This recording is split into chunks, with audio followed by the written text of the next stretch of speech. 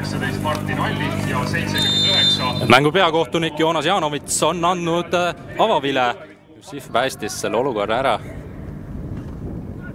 ja nüüd Turil on natukene ruumi ja väga palju tegelikult ruumi ja läheb ka löögile, aga Nõmm selle püüab. teine nurgalöök, see mängitakse lahti.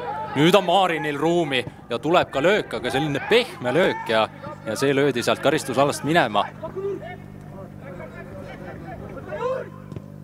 Nüüd langilt senderdus ja seal on Seeder ja on üks-null üks-null, Seeder viib tulevikku kahekümne kuuendal minutil üks-null juhtima. no super värav, see peaks olema Seederi teine värav sel hooajal. ja kõik algas, algas sellest nurgalöögist, mille tulevik teenis, see mängiti lahti. Maarin läks löögile, tuli pall teisele äärele, sealt oli, oli see, see lüüakse minema Turr mängib hästi Sannechiga kokku ja nüüd on seal ruumi, nüüd on väga palju ruumi ja, ja on värav. üks-üks, kust kohast see läbi läks? tundub, et Turri nimele see igatahes nüüd läheb kahekümne üheksandal minutil ja tuli kiirelt Paide vastus, väga kiirelt. ei saanud tulevik kaua seda eduseisu nautida. Ja mänguseis üks-üks, pärast alguse Edgar Turri löögist. korralikult jõudu karistusalas. Allik senderdab ja päris hea pall sinna taha posti. kõige parem ja kõige mugavam, et oleks saanud kohe löögile minna. ja nüüd võitleb seal Kauber ja nurgalöök. ja Saag võitles selle palli tulevikule, Komissarov kas läheb ise löögile, läheb ja saab tõrjub, aga teine pall on vaba ja seal on Kaimar Saag. Kaimar Saag neljakümne neljandal minutil viib tuleviku kaks-üks juhtima. Kaimar Saagi ma maha maganud ja, ja Saagi neljas värav sel hooajal karikasarjas esimene on, on nüüd löödud.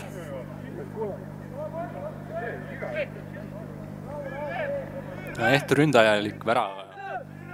Frolov ikka palliga, Sanet Turr on olemas, saab söödu.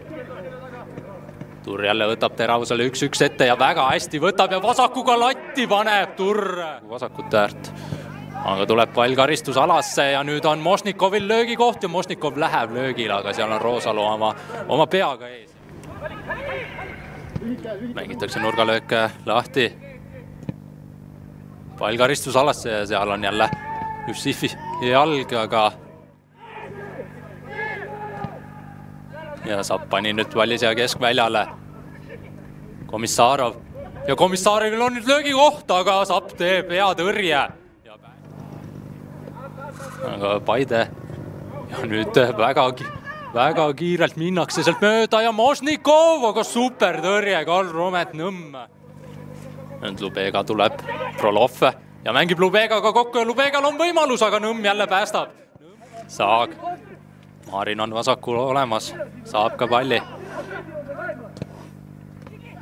Komissarov ja mängib Saagile ja Saag saab sealt löögile ja posti ja põrkab Sapile kätte. ise peaks nüüd viimastel minutitel selle viigivärava kätte saama, siis oi-oi, kui magus see oleks. Saliste, pall kasti ja Lubega, Lubega, Lubega, Paide saab kaheksakümne kaheksandal minutil sellega viigivärava kätte mida ei kari-, lahendatud ära ja Paide kohe karistas, Paide kohe karistas ja, ja seis on kaks-kaks. ja kas tuleb veel ühe korra pall karistusalasse ja tuleb pall karistusalasse. ja jälle päästab Nõmm. minutit minna, vaatame äkki, äkki otsustatakse lisaajal see ära ja siin on Kauberil supervõimalus, aga latti.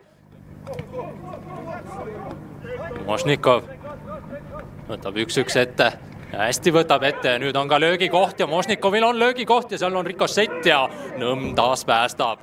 peab üks jalg joonel olema vähemalt, aga Kauber uuesti ja seekord lööb teisele poole vasakule nurka ja seekord lõi ära.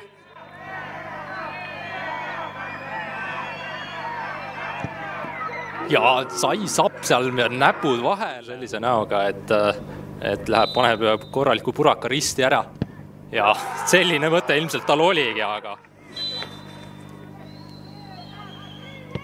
ja väga selline pehme penalti ja mängib Paide närvidega siin, aga aga mida teeb Turr?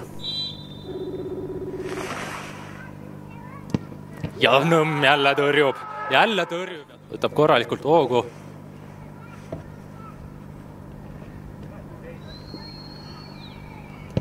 Ja Sapp teeb suurepärase tõrje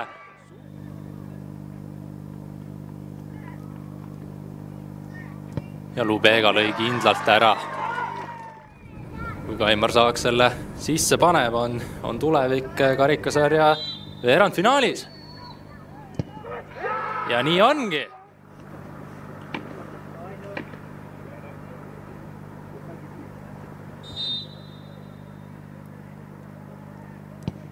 Ja Nõmm tõrjus ja tulevik on Evald Tipneri karikasarja veerandfinaalis. Paide linnameeskond alistati võõral väljakul. Penaltiseerias kolm-kaks, normaalaeg ja lisaaeg jätkub.